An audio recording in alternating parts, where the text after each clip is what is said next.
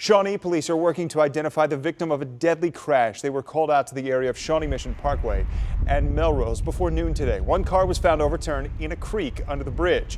One man was found dead inside. No other cars involved. Police believe the accident happened overnight.